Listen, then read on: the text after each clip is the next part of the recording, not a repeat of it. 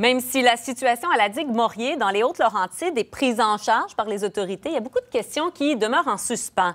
D'autant plus que, outre Lac des Écorces et Chute Saint-Philippe qui sont évacuées, il y a d'autres municipalités qui sont en état d'alerte. Euh, je pense à Saint-Aimé-du-Lac des Îles, Lac-Saguet, vous voyez sur la carte, Notre-Dame-de-Pontmain, Beaumune, Lac-Sainte-Marie, euh, mais également Mont-Laurier qui a accueilli les évacués. Daniel Bourdon est maire de Mont-Laurier. Bonjour, Monsieur Bourdon. Bien, bonjour, Mme Pierre. Être en état d'alerte, qu'est-ce que ça veut dire pour Mont-Laurier? Comment les, citoyens, la ville se préparent à l'éventualité d'une évacuation? Parce que c'est ça, dans le fond, se préparer à être en état d'alerte. Bien, depuis dimanche dernier, donc 20 euh, heures, qu'on a eu l'alerte à l'effet qu'il y avait une problématique avec euh, la digue Maurier. Alors, la ville de Mont-Laurier s'est mobilisée avec euh, la municipalité de Chute-Saint-Philippe, Lac des Écorces, pour ouvrir, entre autres, le, centre sportif pour pouvoir accueillir les, euh, les évacués. Oui. Alors, euh, ça a été mis rapidement à la disposition de la population. Et il y a eu une mobilisation de, des employés de la ville de Mont-Laurier, les employés des municipalités de Lac-des-Corses, de Chute-Saint-Philippe, mais aussi énormément de bénévoles. Et après ça, c'est du 24 heures par jour.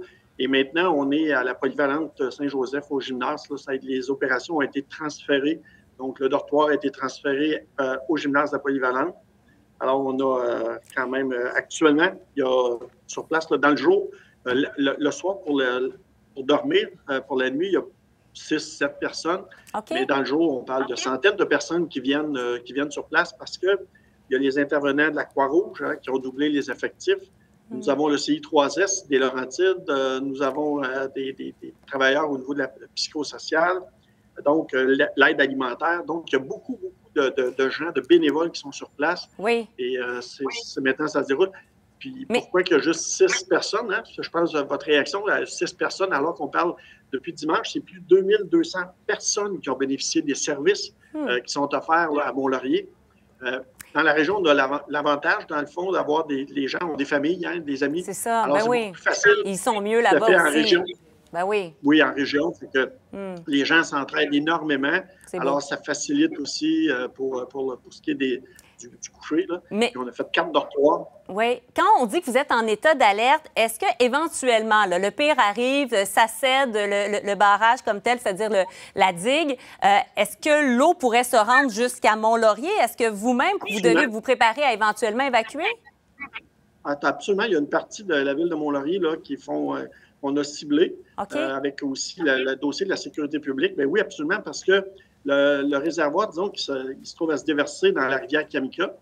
La rivière Kamika se jette dans le lac des Écorces, puis Mont-Laurier, il y a une partie de sa population qui est sur les, rives du lac des Écorces.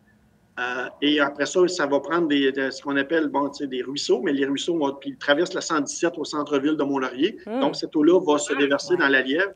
Alors, ce qu'on fait, c'est que c'est sûr, des personnes évacuées, c'est vraiment le lac des Écorces, Saint-Philippe. Euh, euh, Pour ce qui est de Mont-Laurier, les gens sont, nos pompiers sont allés les rencontrer, sur le, surtout ceux qui sont sur le bord du lac des Écorces. Oui, oui, on comprend. Et euh, on, les a, on les a avisés que, bon, c'est important d'avoir une valise, mais que, advenant, parce qu'aussi, il faut dire que quand, si la digue cède, euh, avant que l'eau arrive à Mont-Laurier, il va se passer beaucoup d'heures. Ce n'est pas quelque chose en temps d'une heure. On aura le temps à ce moment-là ouais, de, se déplacer. Euh, on dit, bon, pour les évacuer, les, les, 1900, pas de retour avant le 17 décembre. Est-ce que vous voyez que les gens commencent à, penser leur Noël autrement, en se disant, euh, disons que les travaux sont pas finis, le 17, le, 25, c'est pas loin. Est-ce que vous voyez que les gens s'organisent déjà par rapport aux fêtes?